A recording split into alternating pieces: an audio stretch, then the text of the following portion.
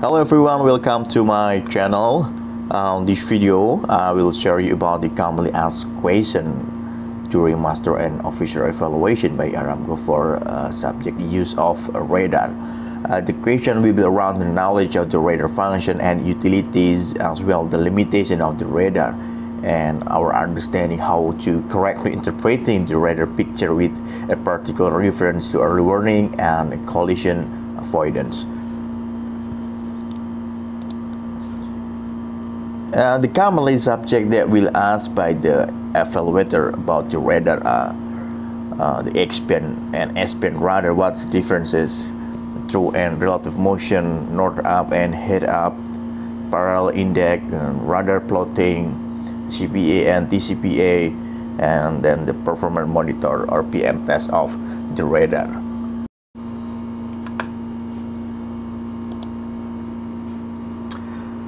Okay, well, let's go to the sample of the question and the answer. What are the key difference between X-band and S-band radar? The X-band radar, the wavelength is 3 cm and the frequency is 9 GHz and because of the smaller wavelength is 3 cm produced by the X-band radar, they use the small antennas. A shorter wavelength are greater attenuation, so uh, they are used for short range distant observation. And X-band radar are more sensitive, higher resolution, and able to detect a smaller particle object.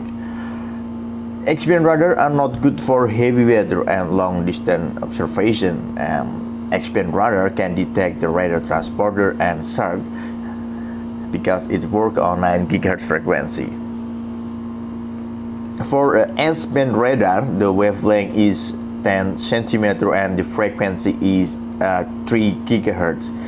Because of bigger wavelength uh, produced by the S-band radar, uh, they use big antennas and bigger wavelength are less attenuation, so they are used for long or far-range distant observation. The S-band radar's penetration capability allow them to see through heavy weather, so it's good for heavy weather observation. The S-band radar is to be fit as a second radar, which is required uh, on the ships gross ton 3000 or more as per the SOLAS regulation. Well, let's go to the other sample question and the answer. Uh, could you please explain about the radar head up and north up mode? And the north up mode uh, will show the north being maintained up on the center of the radar screen, same as on the chart. Um, the target are will be shown in their true compass direction from uh, on ship. And the north up mode is better to be used while navigating at open sea because it shows me the real location of its target and the land same as the chart uh, my course drawn on it and I will not get confused when taking bearing of each target. For head up mode, uh, the head up mode uh, shows the heading line being maintained up on the center of the radar screen same as uh, a real forward view from the bridge. This is useful for navigating while approaching the port because all target and lands in front of uh, the vessel are at the top of the screen and objects on the starboard side are displayed on the right of the screen and also object on the port side will be displayed on the left side of the screen. Okay, next sample question. Which other mode you will select in the oil field? Is it north up mode or ship's head up mode?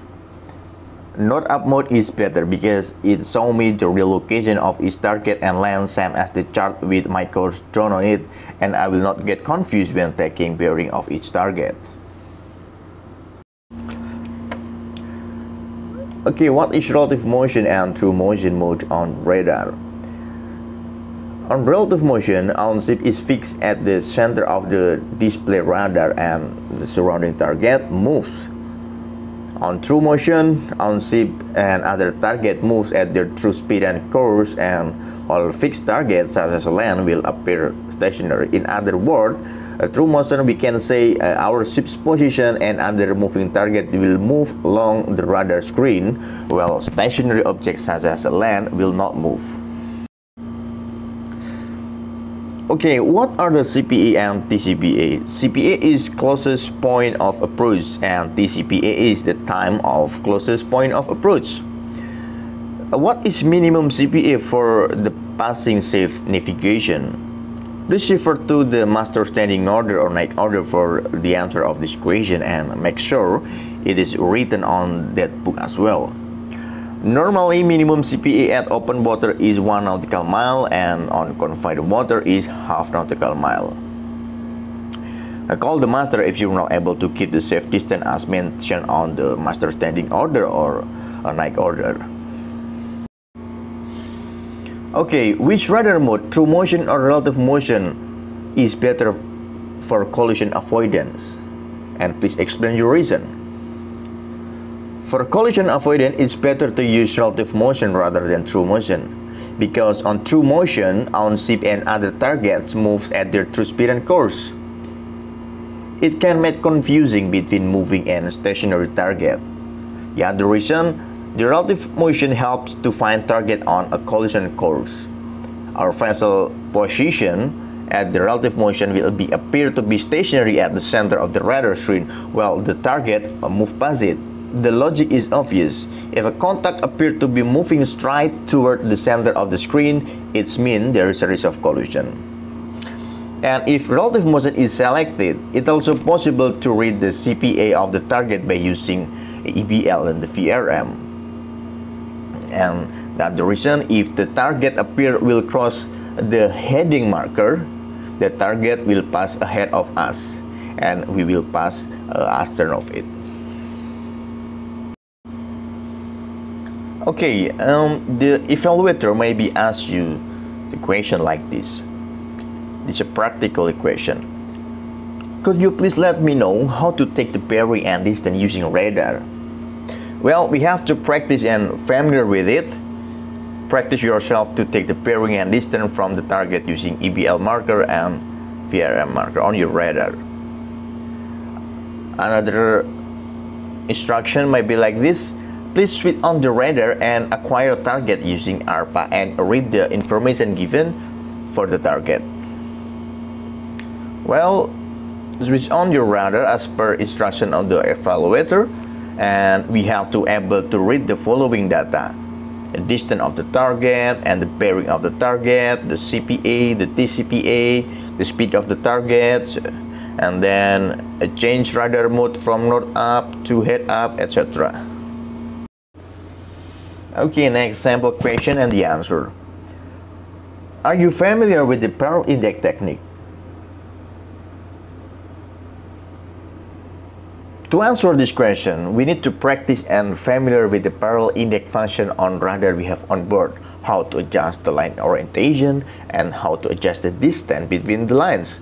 The parallel Index is a technique to monitor the progress of the vessel on the track and to minimize the cross-track distance as limited availability of the sea room and keep the vessel at safe distance from the shoreline or other navigational hazard. To adjust the Parallel Index, the orientation of the line can be set using the EBL marker and distance between the lines can be adjusted by the VRM marker. The parallel Index effectively used during coastal passage such like uh, TSS, narrow channel, canals, and river because it can monitoring vessel track and traffic from the same radar monitor. Parallel Index ensure the ship's position remain at the fixed distance from any shoreline to alert mariner that he has come close to navigational hazard and it's valuable tool to adjust the drift in confined water.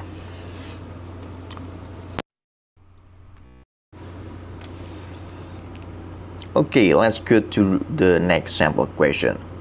What action to be taken in case a radar suddenly shut down and close quarter situation occurred?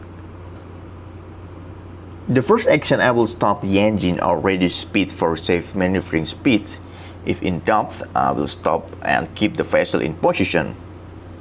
I will inform the master and then I will take the bearing and distance from the target using manual bearing. The risk of collision shall be deemed to exist if the compass bearing of an approaching vessel does not appreciably change. Um, take action to avoid collision with altering course until you get the safe distance from the target.